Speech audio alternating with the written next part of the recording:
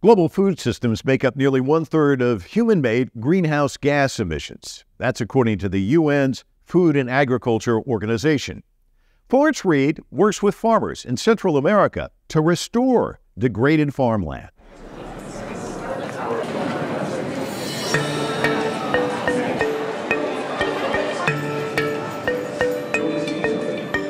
I met Florence in New York City at the Clinton Global Initiative Gathering, which brings together global leaders to discuss the world's most pressing challenges. She is currently the founder of Sustainable Harvest International. I love your Genesis story, and I'm going to do like a thumbnail sketch and then maybe you can expand on it. Basically, it starts out with like a terrible boss, um, but also a chance encounter with the Swiss tourist and then suddenly you're off to the races. And I've kind of set it up for you. Tell the story because it's an amazing story. Um, sure. So I was working for another organization. This was what, 26, 27 years ago, trying to get some work done with them, and was finding that that my boss really wasn't going to let the work happen. And eventually, he said, "Just raise the money. Don't worry how it gets spent. I'll take care of that." And I said, Well, I can't do that. so I'll send you my resignation letter this afternoon. And at that point, I had been down to Honduras. I had hired two people to start working with farmers there and helping them adopt agroforestry practices, integrating trees in with their agricultural crops. And so I felt very um, committed to, them and responsible for uh, for having hired the the field trainers um, and for having told the farmers we'd be working with them. And I thought, well, now what am I going to do now? And I didn't see a very realistic way for my what twenty something year old self to find the money and to find the skills and everything to start a whole new organization. So I said, all right, I'm going to give myself one day and see if I can figure out a reasonable plan. And if I can't figure it out during that day, then I'll just face reality, get a job to pay the bills. My mother said if I liked warm weather and Spanish speaking people, I could go and work at Disney World, um, move to Florida instead of working in Central America where, where I'd been a Peace Corps volunteer. And that same day, I got an email, which was a brand new thing at the time, um, from a guy named Dieter in Switzerland, and I'd met him on my last trip down to Central America in Panama. He was there with some friends as a tourist. He emailed and said, "What's happening? Has your crazy boss uh, ruined everything yet?" And I said, "Well, actually, I had to leave, um, and I don't know what I'm going to do." And he said, "Well, open a bank account, and I'll wire you some money to start your new nonprofit tomorrow." And I thought, "Huh, well." Worth a try. How much money could he have, though? He's about my age and uh, the next day, there um, was uh, there were several th- several thousand dollars uh, in that bank account, and it was enough to get started. I sent half of it to Honduras to keep the guys there going for the first few months, and I used the rest to print up letterhead and write to everybody I'd ever met in my life, asking for more donations. And then, little by little, it's been building from there, and um, I hope it's going to be growing a lot more in the coming years. Is is it part of that? Is it the youth and I can get this done? I mean, what what drives somebody, a young woman at that time, to to take mm-hmm. that stab at it? Well, I just felt a profound responsibility uh, to the farmers, to the planet. I saw the possibility to make really significant positive change. And I'm just the sort of person who I still don't think that much about the obstacles. Uh, I've got the head in the clouds part. We've got others with the feet on the ground, and uh, and it, it seems to have worked out. Florence's childhood experiences led her to take an interest in environmental issues. She studied environmental conservation and international affairs at the University of New Hampshire. In 1997, she founded Sustainable Harvest International, an environmental nonprofit that partners with smallholder farmers on regenerative farming practices. You also said uh, farmers are our future, and most of us think of the type of farmers you're dealing with as the, the farmers of the past, and yet they are the farmers of the future, and ag can help us with our future. Can you talk to us about the importance of the work and how it does deal with climate change. Mm-hmm. Um, well, the, the that that really bothers me when people seem to think that organic farming, um, uh, e- ecological farming, is something of the past. I mean, certainly there were a lot of these practices used in the past, but they're constantly evolving, they're being improved on, they're science based, they're based in soil science, they're based in ecology. And the types of farming that Sustainable Harvest uh, promotes with, with the farmers and that the farmers adopt is rooted in I, I, boil it down to two basic principles. One is soil health. So, building up healthy soils primarily through adding uh, organic carbon to the soil. So, organic material, decomposed material, whether it's in the form of compost or whether it's in the form of decomposing cover crops, uh, whatever that may be, and then maintaining that healthy soil with a healthy, healthy ecosystem in the soil with all the microorganisms that help the crops to grow. And then the second piece is biodiversity. Um, when farmers begin working with us, usually they're growing two, three, four different crops. When they finish our four year program, they're growing 20, 30, 40 different crops um, fruits, vegetables, a variety of different trees, timber trees, fruit trees, hardwood trees, nut trees, spice trees. Uh, and all of these different crops work together to create a healthy ecosystem that, to a great extent, sustains itself, takes care of itself. Uh, so once it's established, it's less work for the farmers. Uh, there need to be few, if any, external inputs, so there's there's no costs like that, and it's not bringing toxic chemicals into, into the ecosystem either. You mentioned reversing climate change, and you mentioned in your talk there are 500 million small scale farmers, and they could hold the key to fighting climate change. And you're talking about, uh, you know, there's this few anecdotal stories, but you add that uh, it, when it becomes 500 million stories, yes. it, it, really can make a huge difference. Yes, if all 500 million of those smallholder farmers around the world made this transition, um, they could get us 53% of the way to the United Nations goal for greenhouse ga- gas reductions, net reductions. So we still need to cut emissions and uh, uh, do all of those things, but farmers could take us so far and they could do it in a way where nobody has to sacrifice anything, but instead they actually, it raises a standard of living for those people. Um, most of the world's hungry live in rural areas. They could be feeding themselves um, by reversing climate change by adopting these practices. Um, and it's simply a matter of, of making that investment in the technical assistance. The world spends a tremendous amount on subsidizing agriculture that fuels climate change if 5% of that was redirected to technical assistance like this, uh, we could instead be getting ourselves 53% of the way to a stable climate.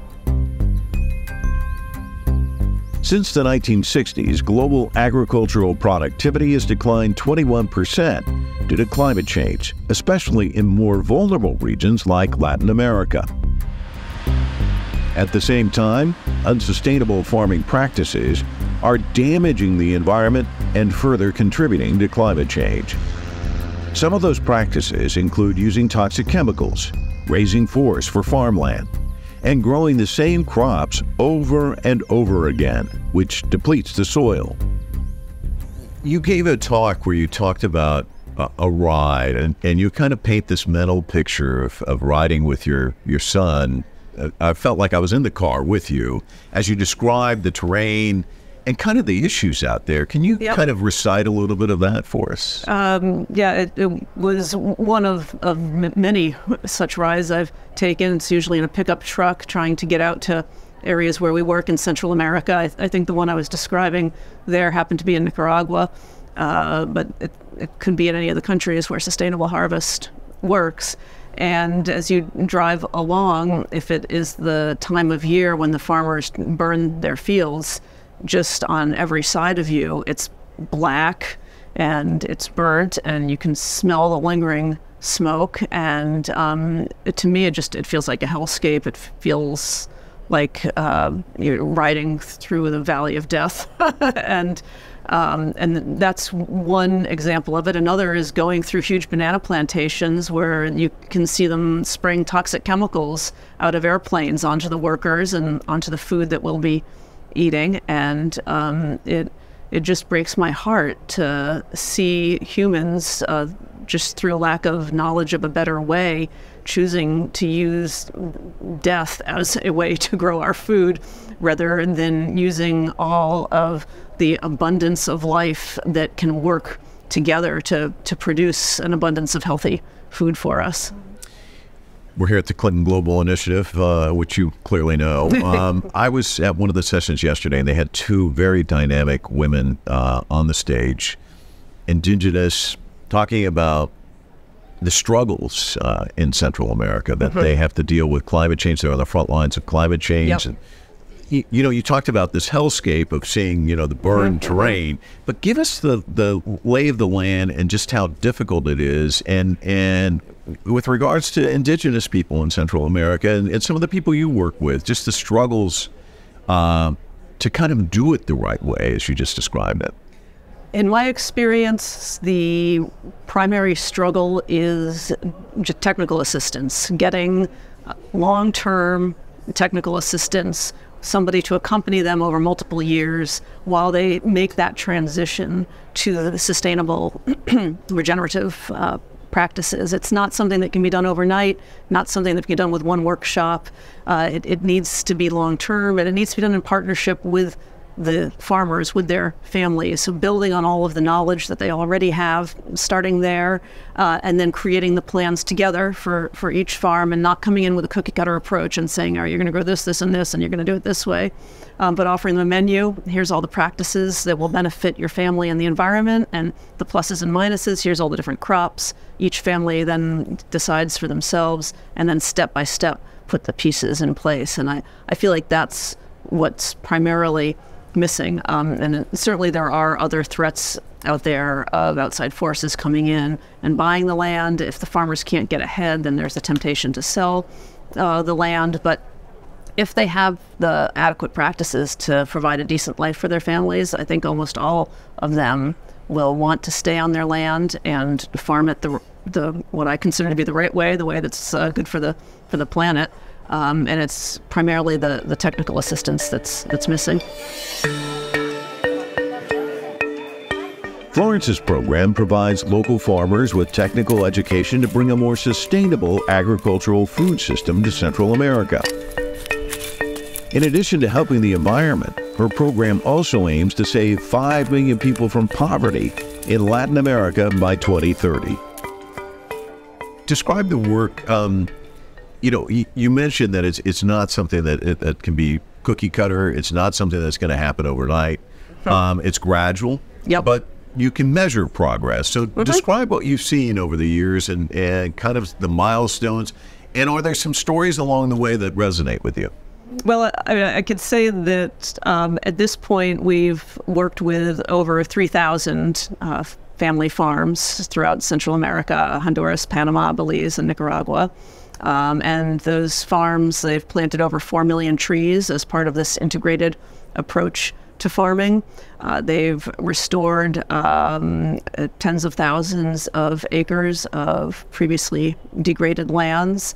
Um, and I guess the, the stories that stick with me, there's there's the people stories and then and there's the environment stories. So the people stories are you know, the stories of the mother uh, saying that her children are now eating a healthy meal uh, three times a day, which they weren't able to do before, and that her new baby, she's able to breastfeed the baby because she's actually healthy enough herself because she's eating a healthy diet. Um, or the mother saying that her mental health has improved because she's growing uh, healthy, plentiful food for her family right around the house on land that she thought would never uh, produce anything again.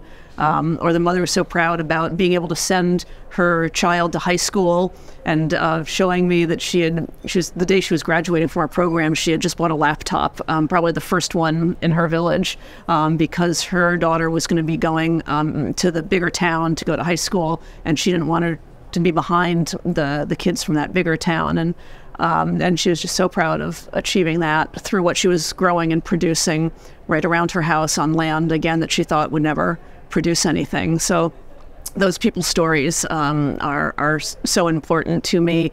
That's something I'm thinking about a lot.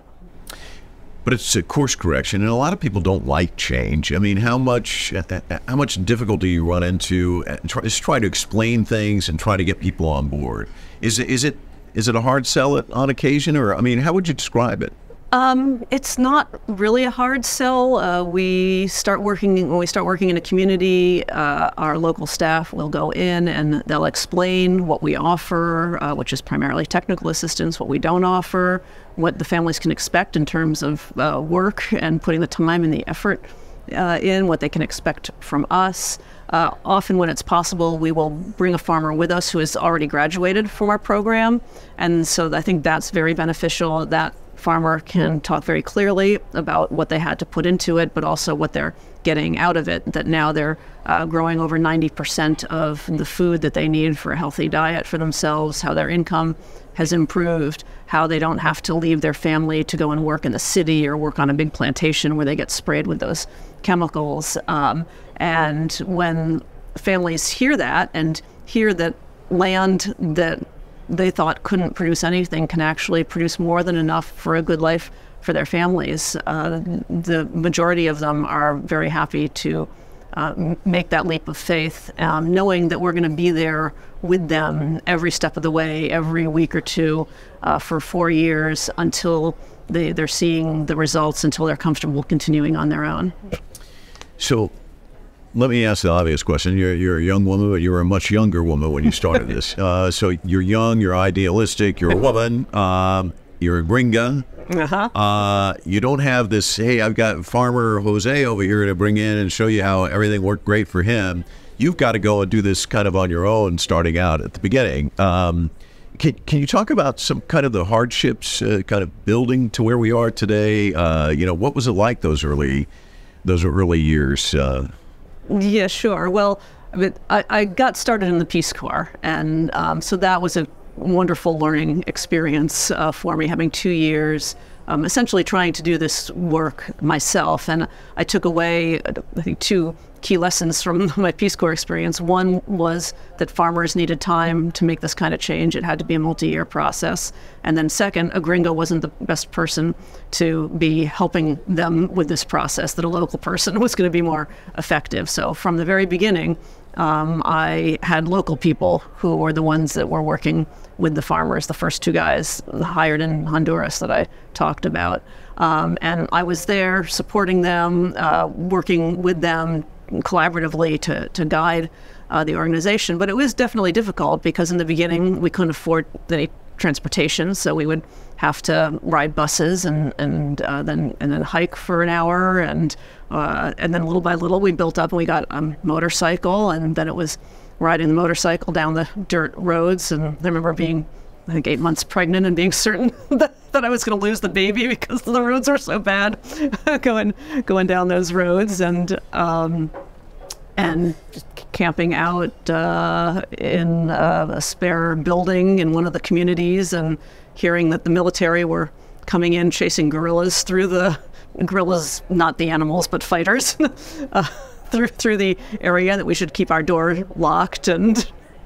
And, and you know, just all, all, all these kind of things that you have to roll with, and, and then just keep pushing forward, keep pushing forward uh, as, as the organization evolves. And our common humanity is more important than our interesting differences that cooperation beats conflict and inclusion is better than division.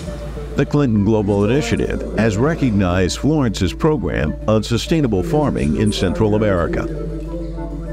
It's interesting, uh, Bill Clinton spoke uh, yesterday at this event, and he said, um, you know, that, that there's a problem out there where people think it's it's the politicians and it's the policy people that make a difference, and it's actually the people that make a difference. And and clearly, there's a gathering of a lot of people, much like yourself, uh-huh. who uh, who take that stand, get yep. up one morning and say, you know, I'm going to help change the world. Um, It's not easy, right? But uh, and it doesn't happen overnight, as, right. as you just explained.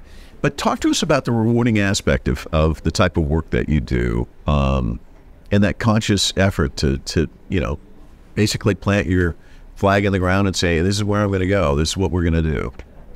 Well, it's um, like I said, every farm that I visit, it's tremendously rewarding to uh, see it coming back to life. And I guess maybe the most rewarding is going back to farms five or ten years after they've finished our program. Um, the last time I was down in Panama, um, I visited a farmer who had graduated 10 years previously.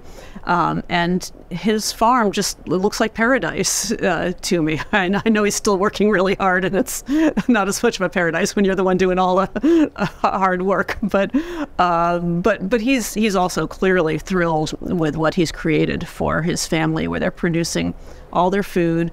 Um, he, he showed me um, he lives in a fairly low elevation where, as far as I knew, strawberries were not supposed to grow. In Panama, I always was told you could only grow them at the very highest elevations. He was growing strawberries somehow, and I attribute it to this really healthy ecosystem that he's created. Um, and he was really proud uh, about the fact that the government had come through and done a health survey.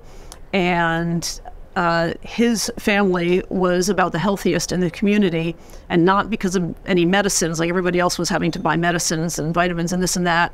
Um, he said that his family was healthy because they're growing all their own food and they're growing healthy diversity of food for a good balanced diet without any toxic chemicals.